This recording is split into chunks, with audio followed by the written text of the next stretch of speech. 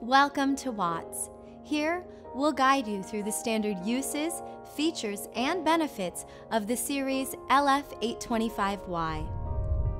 The LF825Y reduced pressure zone assemblies are used to protect against high hazard fluids in water services to facilities such as industrial plants, hospitals, and chemical plants.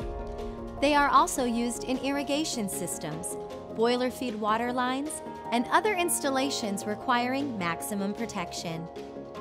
In addition to meeting all the standard certifications, the LF825Y features lead-free construction to comply with lead-free installation requirements. This series features two independently operating, spring-loaded Y-pattern check valves for low head loss with a modular differential relief valve for ease of maintenance. All internal parts are serviceable in line. For additional details on the product, including installation, head to febcoonline.com.